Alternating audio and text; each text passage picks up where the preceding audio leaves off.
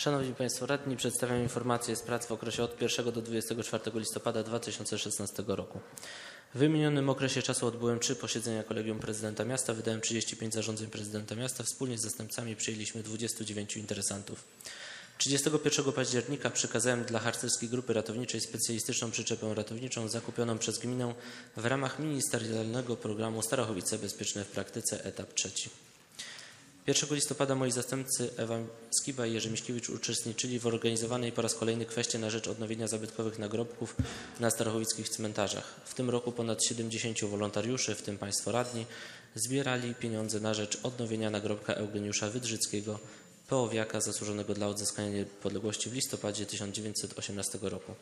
Kwestujący zebrali ponad 8,5 tysiąca złotych.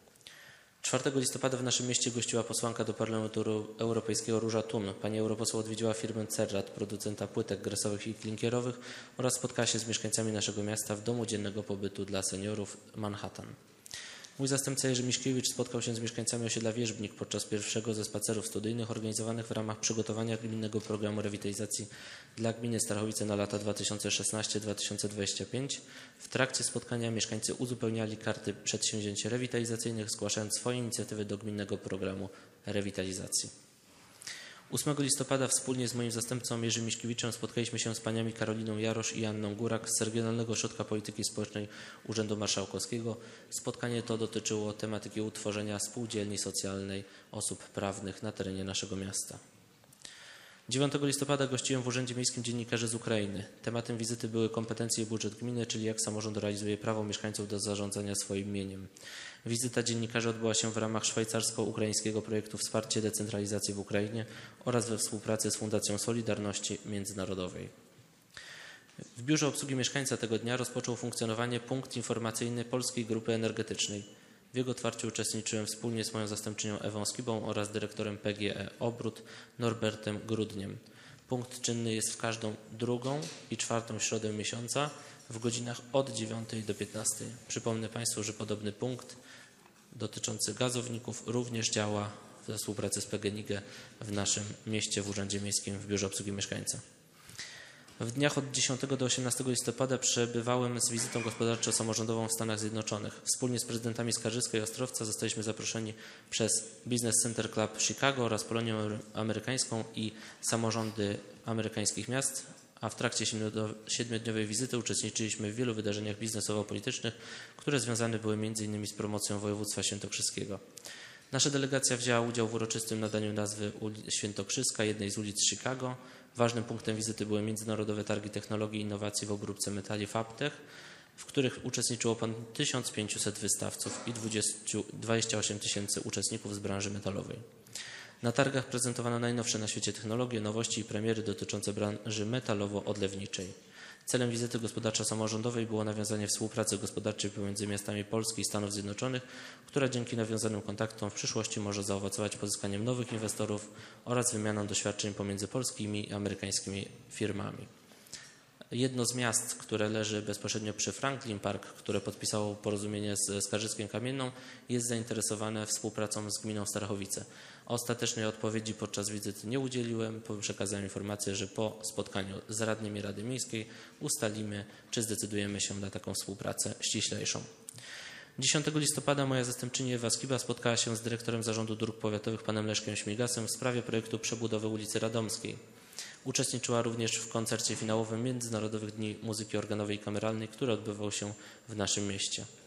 11 listopada moi zastępcy uczestniczyli w uroczystych obchodach 98. rocznicy odzyskania niepodległości. 15 listopada Ewa Skiba spotkała się z panem Robertem Zaborskim, dyrektorem oddziału PKP Przewozy Regionalne w Skarżysku Kamiennej oraz prezesem MZK. Spotkanie dotyczyło skorelowania połączeń komunikacji miejskiej z komunikacją kolejową oraz nowych kursów przewozów regionalnych, które zaczną funkcjonować od nowego roku. W tym samym dniu Jerzy Miśkiewicz uczestniczył w konferencji zorganizowanej na temat programu Piłka Ręczna w Szkole. Program realizowany jest przez Świętokrzyski Urząd Marszałkowski oraz Świętokrzyskie Centrum Doskonalenia Nauczycieli w Kielcach. 16 listopada Ewa Skiba wzięła udział w zorganizowanym starostwie powiatowym spotkaniu w sprawie wykonania bezkolizyjnego przejścia drogowego nad linią kolejową w ciągu ulicy Radomskiej w Starachowicach. 18 listopada moi zastępcy uczestniczyli w zorganizowanych w Zakładzie Energetyki Cieplnej pierwszych konsultacjach społecznych dotyczących planowanej na terenie ciepłowni przy ulicy Ostrowieckiej budowy instalacji termicznego przetwarzania odpadów komunalnych.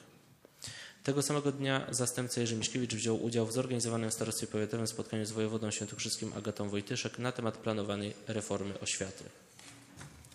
Również 18 listopada mój zastępca uczestniczył w nadzwyczajnym zgromadzeniu akcjonariuszy specjalnej strefy ekonomicznej Starachowice. 19 listopada zastępca Jerzy Miśkiewicz wziął udział w odbywającym się w Starachowickim Centrum Kultury uroczystym jubileuszu 20-lecia istnienia sekcji piłki nożnej katolickiego klubu sportowego Juventa. 20 listopada wspólnie z moim zastępcą wzięliśmy udział w zorganizowanej w Starachowickim Centrum Kultury uroczystości 90-lecia Starachowickiego klubu sportowego Star. Mój zastępca tego samego dnia spotkał się z uczestnikami 39. ogólnopolskiego turnieju recytatorskiego literatury regionalnej w Starachowicach. 21 listopada wspólnie z moją zastępczynią Ewą Skibą mieliśmy przyjemność uczestniczyć w uroczystych obchodach Dnia Pracownika Socjalnego, które odbyły się w sali Olimpia Urzędu Miejskiego. 22 listopada rozstrzygnęliśmy konkurs ogłoszony przez Gminę Strachowice oraz Stowarzyszenie Architektów Polskich SARP, oddział w Kielcach, na opracowanie koncepcji urbanistyczno-architektonicznej zagospodarowania terenu wokół zalewu Lubianka.